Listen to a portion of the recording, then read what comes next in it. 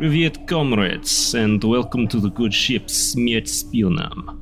we are the flagship submarine of not just the Soviet Union, but the Soviet Union that exists exclusively in the heads of white American liberals. I am Captain Devon. I'm directing this state of the art submarine to the east coast of America, where we will use mind control powers to make them elect a fucking Cheeto. Joining me is, uh, um, Comrade Ellis. Comrade Uh, so I'm trying, I'm, I'm trying to figure out what rank you are. Your uniform is frankly cons- quite confusing to me. Ca- Cap- Captain Major Lieutenant Commander. Right. Right. Uh, uh, fantastic. Uh, also with me is Hype Lieutenant Abigail. She has the most important job on this vessel. She stands on the bridge and breathlessly says, They will give you the Order of Lenin for this, comrade. Whenever any decision is made, no matter how minor. А, Привет, товарищи! Мы снова играем в шкам с нашим старым противником в NHS Gender Identity Clinic. And uh, and finally, sat at the radar desk, masterfully isolating the sound of an enemy vessel from the background noise. It is me vacuuming, bumping the microphone, refusing to turn the radio off. His comrade producer, Nate Bethay. Yeah, hello. I was very confused when seeing Tim Curry's face in this film because I remember him wearing a dress in a Rocky Horror Picture Show, and I got excited in a way I could not explain, but it made me very angry. You'll receive the Rosette of Kronstein for this, Captain.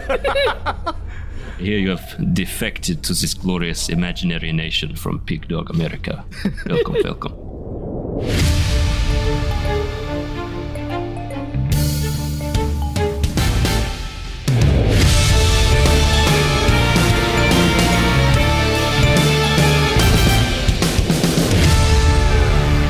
Привет, доброе утро, and welcome to a bonus episode of Kill James Bond, as you may have guessed from our delightful cold open, we are watching, we are going back at 3:22 a.m. for more old Connery, in the form of Hunt for Red October, a genuinely good movie. Ah. So good.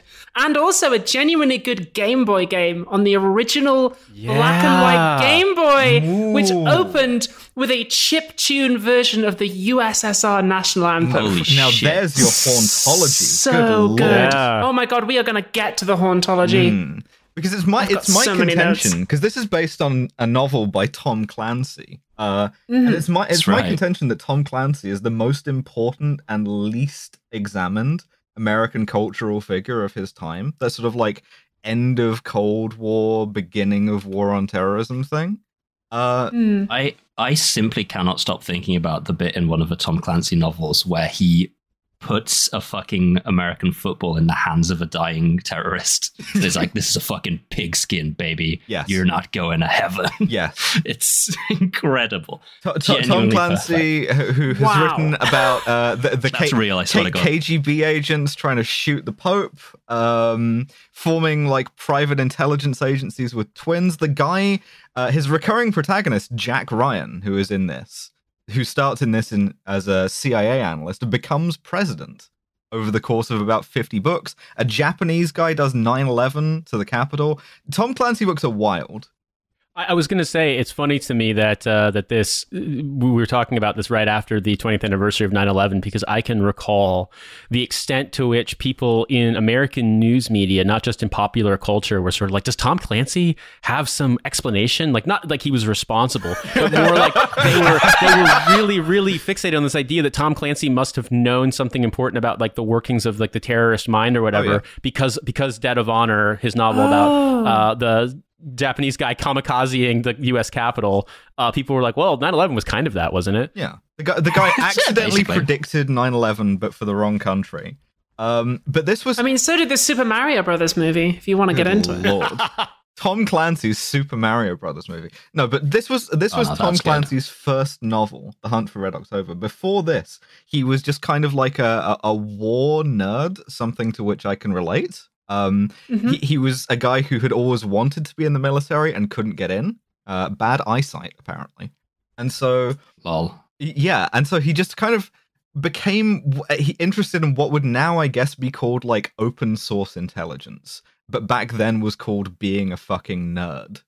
Um Mhm. which is you know a, a lot of shit uh, that came out of the military industrial complex got just published openly and got disseminated. You could buy and read like proceedings of you know such and such a society or a journal or whatever and it'd be in there in like full color but nobody really understood that. And so tom clancy by reading this developed this sort of reputation as like oh he knows a lot of shit about this. It's just like um it's the discussion nate and i have had where every time you're like, well, how come you know this shit about the military? I'm like, well, autism is a developmental disorder, primarily Have you considered writing a novel, Alice?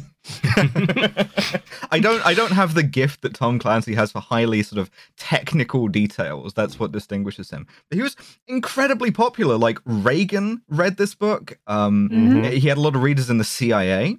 Uh, and a lot of readers in the CIA who, again, just fully did not grasp how much of this stuff was in the public domain and were just like, how does he know this about us? Bas- ba- exactly. Basically, uh, the secret to his success, literally the volume of Jane's that's Yes. shown in the in, in the establishing shot in Jack Ryan's London office or whatever. Uh, that's it. well, we publish this shit every year, but we didn't think anyone would actually be autistic enough to read it. Yeah, I, I, there are some along, details in this. Before we start, there are some things, and I, I may pause us as we're talking through certain things because there were some details for me as a ground pounder who was supposed to do helicopter nerd shit periodically for my job. There are things in this that I was really impressed by the attention to detail that made it into the movie, and I realized that the Navy was like, as I skimmed from Wikipedia, the Navy thought this might be able to do for submarines what Top Gun did for uh, fighter pilots. Although I don't know if this Oh. film would really make me want to be on a submarine.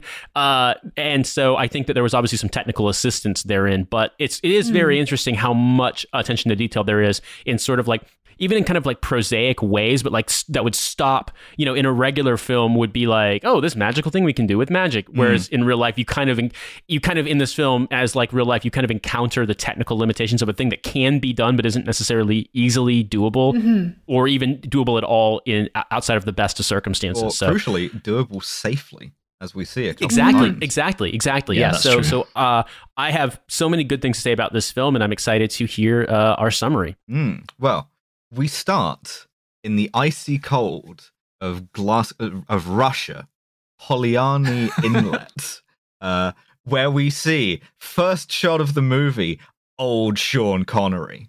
Uh, yeah. right, baby.